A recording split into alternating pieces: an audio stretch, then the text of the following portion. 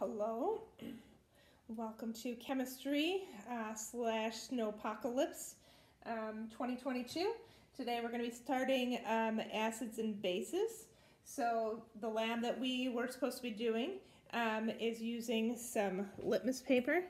So there's red and there's blue litmus paper. Um, so today we're going to test a number of items. Um, so you can write up this lab for next week. Um, these are the substances we're going to be testing. An apple, Windex, soap, some, oh I didn't get soda, um, some toilet cleaner, and some lye. I'll get have my uh, apprentice here get some soda maybe. Where? Um, from the garage. And um, we're going to put a red and a blue litmus paper in each of these things, and we're going to test and see um, what happens. So um, I'll do the ones that I have here so far. So apple. First, make a guess. Do you think an apple is an acid or a base? What do you think it is? An acid. An acid. All right, so we're going to guess acid. And then, um, so when you're doing litmus paper, um, uh, if I put a blue litmus paper in, if it turns blue, it's a base. Same with a red litmus paper. If I put a red litmus paper on a, if it turns blue, it's a base. If it turns red, it's an acid. So blue is base. Wait, let's use the blue. That means it's a base. And my blue is not very good. And my red, it's red, it's, it's an acid. Okay, so we're going to put a blue and a red one on our apple. And we'll see if it's just wet enough to, okay, so it's turning my blue litmus paper. What color is it turning it? Red. Red. So let's just double check. It looks more orange. Well, that's as red as it's gonna get. Um, if I can pick up this red litmus paper, I'll put my red one on there and see what color. Oh, wrong way. So, put it, get it wet a little bit. So, it's turning the blue one red. So, that is indeed an acid. Okay? So, now we're going to do the same thing for Windex. Acid, I know that. So you think it's an acid? Okay, so here's our Windex cleaner. I'm gonna take my blue and my red, and I'm gonna stick them. I should have had these separated. They keep sticking together here. Do you want me to separate them? Oh, God. All right, I'm gonna respray because I think it might have mixed. Okay, so we'll make a guess. What do you think it is? You think it's an acid? Uh-huh. Okay, so if it's an acid, it'll turn the blue red. So here's turning the blue one red. So good guess. I said it was an acid, and it is indeed an acid. Okay, soap. So you think it's a base? All right, so these ones got wet now because I touched them with my fingers. So here's my blue and my red. I'm going to stick it in my, I have a little bar of soap here. And I'm sticking my blue, or my red one in, and my blue one in. So what color did it turn? Right, it turned blue. So we guessed it was a base, and it is indeed a base. You didn't get my soda. Can you get uh, get that two liter of? Oh, is it in here? Can you open it and pour just a little bit on a plate? All right, so we'll skip the soda for right here. Toilet cleaner. Toilet cleaner. And we'll put some blue in and a red in the toilet cleaner. What do you think it is? Do you think it's an acid or a base? has to be an acid. You think it's an acid? Mhm. Well, did it turn it red? Yeah.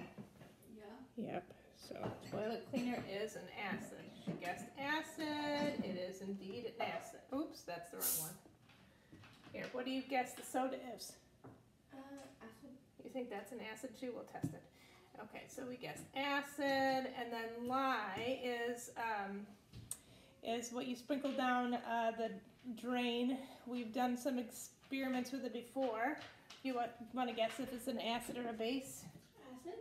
Okay, she thinks it's an acid. Good, because that's what I was writing. Um, again, I don't want to touch it without a glove because it can sting me. Where is yours? Okay, so this is drain cleaner. And thank you. And then I'm going to put my blue and my red in. So blue and red does, I touched it, so it has a little bit of red in, but we'll stick it in here. Here's, how about that? What color did it turn? Oh, that one's very base, very, very strong base. So strong that it would, it would hurt my hands if I'm not careful. So that was a wrong guess. But that's okay, that's what we were guessing for. So you guessed soda was an acid? Yeah. All right, so we have some Sprite here. Don't tell Jordan we stole her Sprite. All right, and don't tell Jordan that like uh, Jesse's drinking it.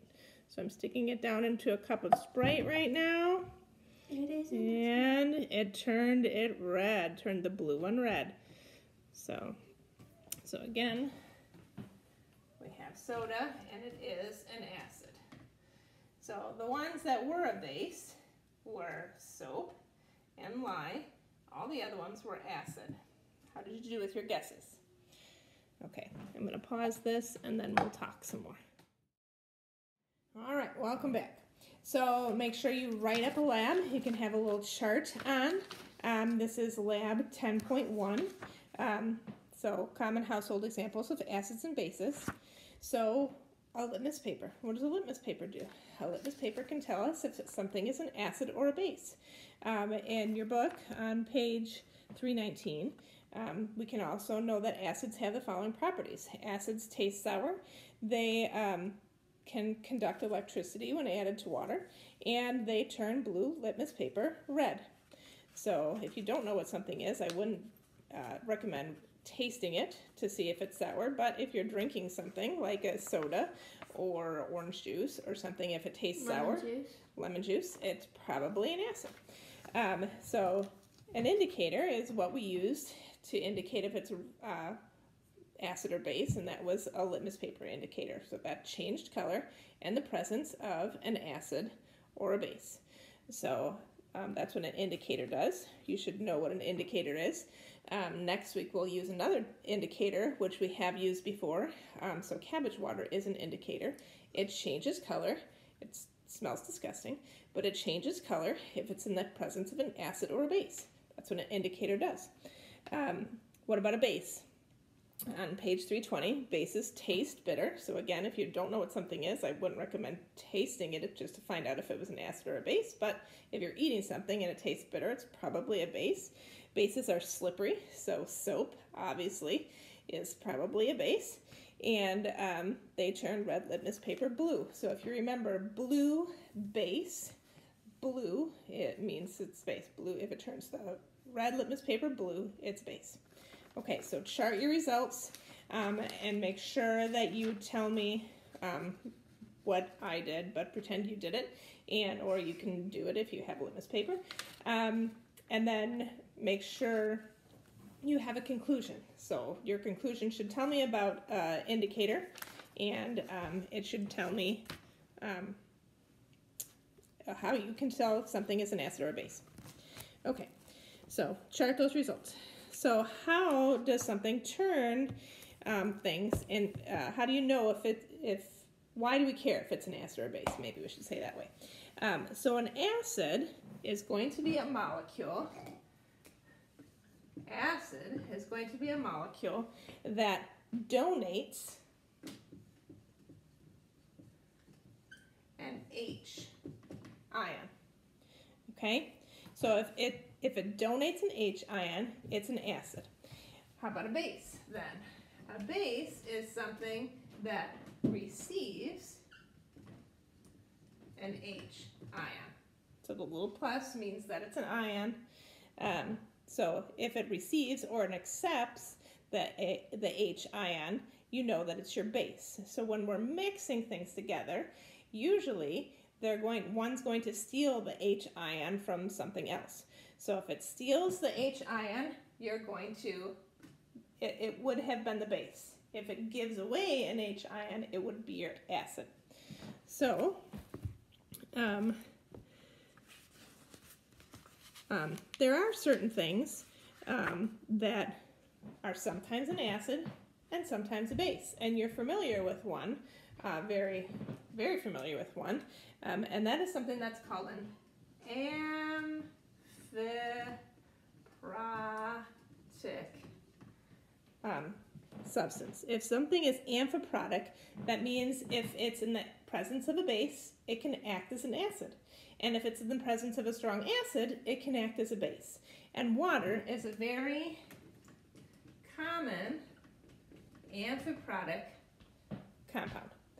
So you have an OH section, which typically is what a base has. They that would steal an, uh, an H um, or receive an H, but you also have an extra H that can donate to something. So if it accepts a, uh, a H, you would end up with H3O, and then it's got a positive charge on it. But if it's donating an H, you would end up with an OH. Okay, so just know what an amphiprotic compound is. It can act as either an acid or base. Know that water is a common amphiprotic compound. Okay, so let's do um, let's do example 10.1. Um,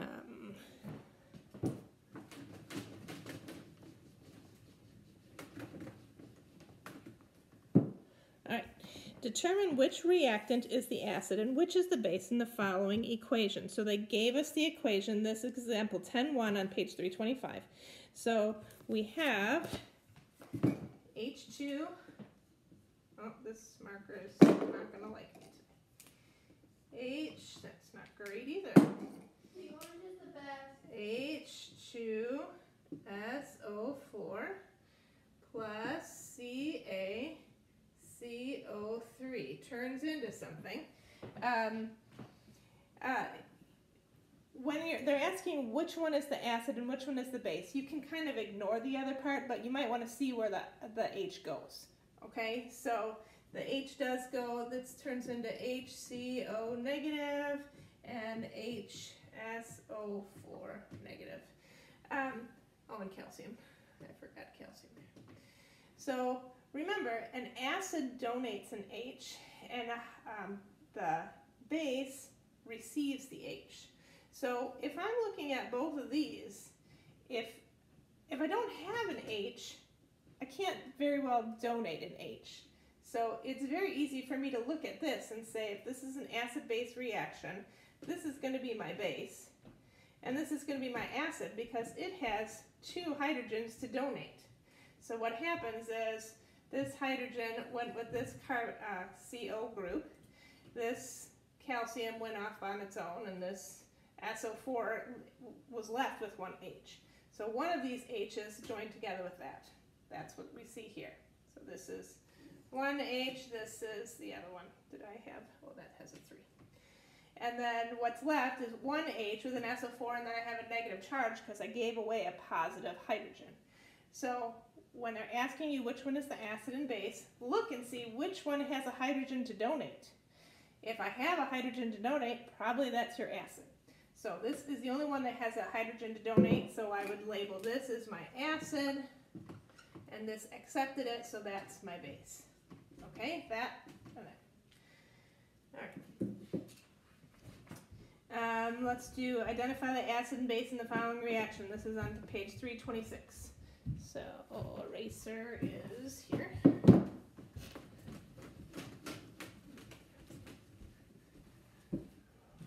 This one might be tricky because both of them have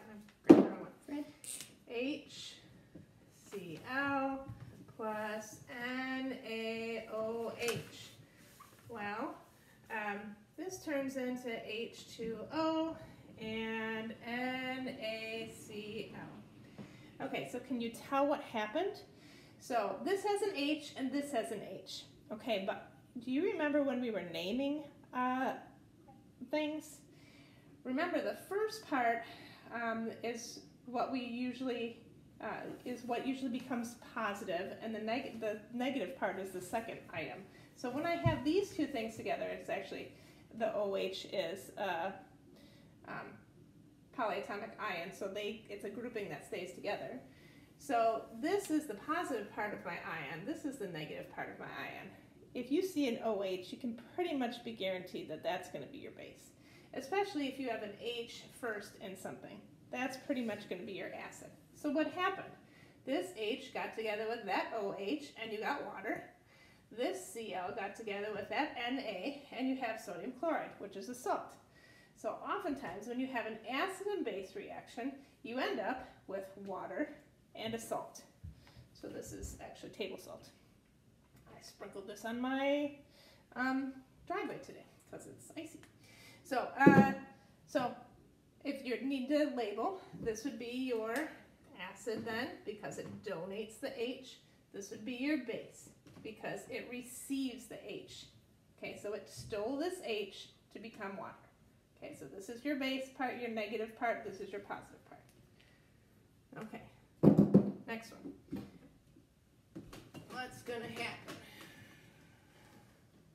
We have 2HNO3, and again, if you memorized your polyatomic ions, you can kind of see what's happening, because here would be your nitrate group, right? And you have Mg with OH, that's an O, and there's two of them, what happens? Can you guess? So this is going to be your OH, it's going to be your negative part. Here's uh, H, that's going to be your positive part. And how do these things mix together? Well, this is going to steal that, and this negative part is going to go with that positive part. So you end up with Mg, NO3, there's two and two H2Os. So what did we get? We got a magnesium nitrate, which is a salt, and you got water. So when I mix an acid and a base, acid-base reactions give me a salt and a water. So, Why don't you show them one put baking powder and vinegar? Okay. So um, Chem 2. All right, so you can see on page 328 you're going to have some common acids. So probably you've heard of hydrochloric acid, HCl, uh, hydrobromic acid, hydrofluoric acid, nitric acid. So these are strong acids that um, they can mix together with something. Um, you might be. Um, so also they have a distinction on page 329 of something that's called a polyprotic acid. Um, that just means that you have extra H's to donate. If something donates one H, um, or, some, if something has two H's, it can donate both of them, so it's sometimes called a diprotic acid. It has two H's to donate. If it has three H's to donate, it's called a triprotic acid. So um, if it's a strong acid, it will donate all of those H's. So uh, on your test, I think it gives you a list of things and it says which one is a triprotic acid. Look for the one that has three H's. Or if it has, it's asking for the diprotic acid, look for something that has two H's. If it has, um, I think that's what it is, it is asking for. So if you see on page 330, when you have an acid and base reaction, you end up with salt and water. So let's do example 10.2. It says give a balanced equation that represents the reaction between HCl and RBOH. Can you see what's going to happen? They're telling me, they're, they're already telling me that it's an acid and a base reaction. So in an acid and a base reaction, I'm going to get uh, a water and a salt. And uh, you can look on your periodic table to know the charges, how these things react. But if you remember your polyatomic ions, OH is always a negative one charge. And H is always a positive one charge. So I don't really have to look on my periodic table, I could, to know that chlorine is going to be a negative one charge. It has to be because this is one and this is, this is positive one, this has to be negative one. So I could look on my periodic table to see where RB is. I think it's rubidium. Um, but I don't have to. I can sort of know that if this is how it's sticking together, um, this is a negative one, so this has to be a positive one. So how are they going to exchange my ions? Well, when I'm mixing, it, mixing an acid and a base, my this acid donates an H, my base is going to, the OH is going to steal it, and I'm going to get water. So what's left? I have, you always put the, the positive thing first with the negative thing. So I'm going to get a salt, rubidium chloride is what it would be. I think RB is rubidium. And then H2O is water. Okay, so um, they're going to give you certain things. If they give you the formula, you're kind of, it's easier, or you can always use your periodic table to see what your charges are. But what happens is you get your H and your OH, they get together make water, and then what do you have left over? Sometimes you might have to have a number here to balance something. We'll do a couple more. Write the chemical equation between sulfuric acid, H2SO4, and sodium hydroxide. Okay, so can you see what's going to happen? Hmm. Well, if this is, remember, I know that H is always plus 1 and OH is always negative 1. Well, if this is negative 1, that means sodium, I could look on the periodic table, but that means that that's going to be positive 1. Here, H is always plus 1, so there's two of them, so this has to be kind of a plus 2. So uh, SO4 you should have memorized um, should be negative 2. Um, it's a sulfate group. So you should have that memorized. You should have uh, done those in the polyatomic ions. So that grouping stays together and it has a negative 2 charge. So what's going to happen? I'm going to get H goes with my OH, but there's two of them. So to get it to balance, I have to have two of these. But that's great because now that 2 makes that a positive 2 to go with my negative 2. So I'm left with two waters. This happens two times. It takes both of the one OH group goes with one hydrogen, the other OH goes with the other hydrogen, and then I have a negative two charge floating around, and that's going to join with my two sodiums. So remember I put my sodium, I mean my um, positive thing first, and then SO4. Okay, if you want to put uh, parenthesis around there to remind yourself, but you don't have to because there's only one of them. If there was two of them, you'd have to put a parenthesis and then write a two or something, but this is this is a negative two, so I have to have two of these to give you a positive two to make it work together. Okay? Did I lose anybody? I hope I didn't. All right, what's the reaction that occurs between H NO3,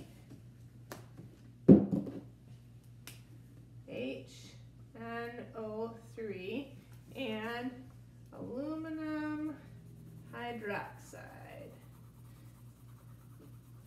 Can you guess? Look, I've got my positive part and I got my negative part. So this is my acid, this is my base, this is always negative one, but there's three of them so you can look on your periodic table, but I guarantee you that aluminum is going to be positive 3 because this has to be, neg it's negative 1 times 3. So this has got to be positive 3. This is only po positive 1, so that means my nitrate group, you should have memorized it, is going to be a negative 1. You should have memorized, but, but you can kind of cheat if you know that your H is positive 1. So what's going to happen? My hydrogen is going to get together with my, uh, my OH group, my hydroxide group, and it's got to happen three times because there's three of them. So to make it balance, I have to have three of those, which is great because now I have a negative, this is negative three charge to get together with that. But now I have to remember that that's a grouping, doesn't come apart, so I have to use parentheses when I write it.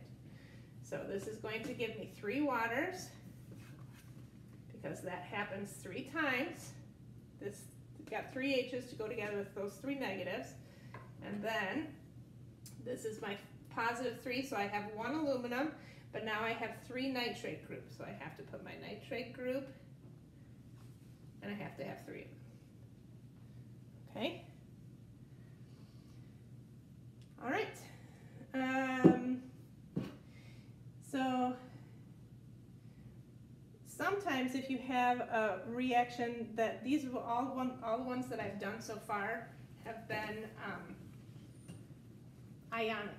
So the ionic group completely steals. Remember, they they stick together with positive and negative charges. When I'm talking about covalent compounds, they share charges. So sometimes they don't take all of the hydrogen, so you end up with some ions. So, um, so they're a little trickier because they end up with some ions. And usually it's when it's mixing in water, um, so those ions are sort of floating around.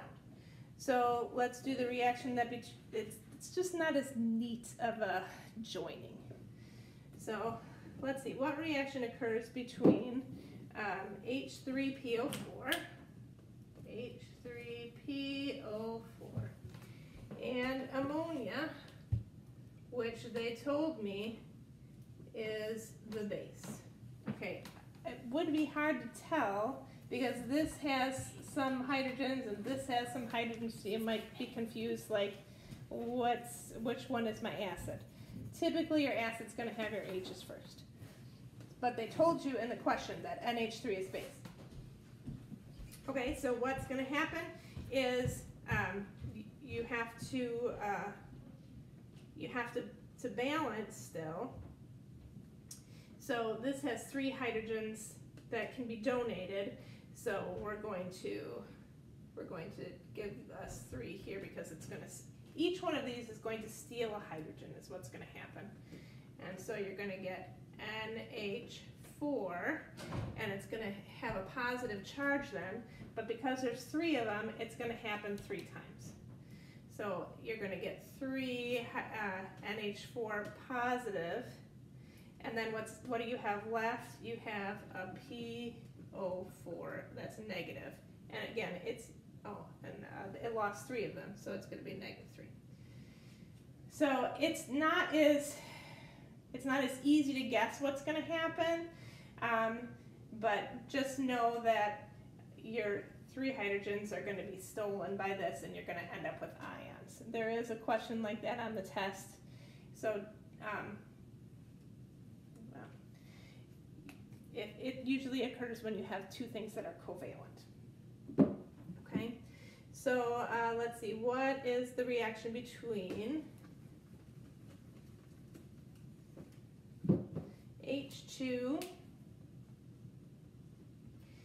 Cr2 and O7 and water. Hmm. Well, remember, water is amphiprotic, so it might be your acid, it might be your base, but if I have something that it's mixing together with two hydrogens in the front here, probably this is going to be my acid, and this is going to be my base. So what's going to happen? If you want to write your water like this, you can. So you see that this is the positive part and this is the negative part.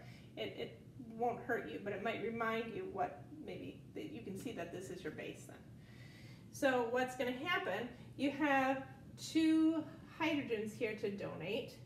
And remember, water is amphiprotic, so it can take a hydrogen, and when it takes a hydrogen, it turns into um, H3O, and then you have a negative charge.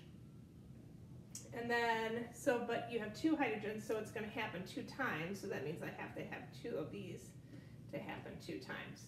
And then what's left over is my Cr2O7, and it lost two hydrogens, so I'm going to be negative 2 charged. Okay, so this would be a diprotic acid. It's got two hydrogens to donate. The one we did before would be a triprotic acid. It has three hydrogens to donate, and so you see that it's it's got to happen two times, or the time before it had to happen three times. And then just remember that you rip the H's off of there, and so you have an ion that has some some negative charge. Okay. So next time I think we're going to talk more about molarity, and um, we'll do that when hopefully everybody's here. Okay, so um, just remember what an acid does. An acid donates an H. A base accepts an H. Remember what uh, um, an amphiprotic compound is. Can be an acid, can be a base, depending on what it's mixed with. Um, and water is a great example of one. And remember what an indicator is, um, changes colors in the presence of an acid or base. Okay? Hope you all stay warm this week.